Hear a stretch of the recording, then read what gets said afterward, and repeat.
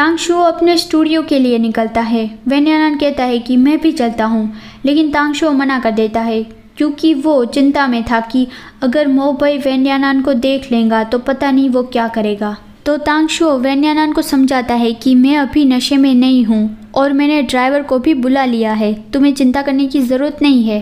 तुम अपने पापा के पास चले जाओ। मैं तुम्हें बाद में कॉल करके सब बता दूँगा। और वो वहाँ से चला जाता है। फिर गुलिन वैन्यानान को देख रहा था और उसे अपने बचपन की याद आ गई कि जब वो छोटा था तो उससे बहुत स्ट्रिक्टली बिहेव किया जाता था। और वैन्याना ने तब उसकी केयर की थी कि आप उसके साथ ऐसा मत कीजिए, उसे चोट लगी है, उसे दर्द होगा।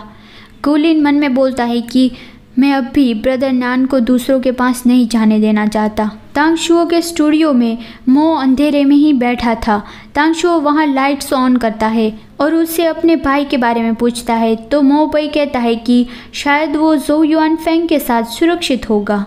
तो ये सुन के तांगशो कन्फ्यूज़ हो गया कि वो उसके साथ क्यों होगा। तो मोबई कहता है कि वो अभी ये कंट्री में प्राइवेट हॉस्पिटल में है। मेरे लोग ने जोयुआन फेंग को वहाँ देखा था।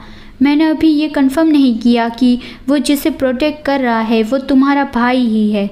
लेकिन मुझे यकीन है कि वो तुम्हारा भाई ही होगा, क्योंकि जोयान फेंग तुम्हारे भाई को प्यार करता है। तांगशो कहता है कि तुम इस तरह की जानकारी भी रखते हो। मोबई कहता है कि तुम जब किसी से प्यार करो तो वो छुपा नहीं सकते। वो तुम्हारे भाई पे कुछ ज़्यादा ही अटेंशन दे रहा था। तो इस तरह से उसके आसपास के लोगों को ये बात पता होगी। और उनसे पूछताछ से तुम्हें यह पता चल ही जाएगा। तांगशो कहता है कि तुमने तो थोड़े से दिनों में ही ये फिगर आउट कर लिया। तो मो भाई कहता है कि मैं मो फैमिली का सदस्य हूँ और ऐसा कुछ भी नहीं जो मो फैमिली हैंडल ना कर सके। और वो मन में बोलता है कि एक सिर्फ़ तुम ही हो जिससे मैं फिगर आउट नहीं कर सकता, सिर्फ़ तुम ही एक। और वो तांग शो के करीब आ जाता है और कहता है कि मैंने उस दिन कार में मेरे रिवॉर्ड के बारे में कहा था, वो मुझे कब मिलेगा? तो तांग शो को याद आता है कि उसने उसे किस करने को कहा था। तो तांग शो दूसरी ओर देख के कहता है कि मैं अभी मज़ाक के मूड में नहीं हूँ।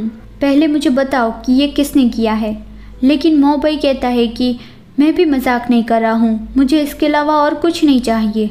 लेकिन तांगशो उसकी बात नहीं मानता तो मोबई ज़ोर से कहता है कि मुझे पता है कि तुम वैन्याना से प्यार करते हो, और जब से तुम उसे मिले हो, वही एक तुम्हारे दिल में है।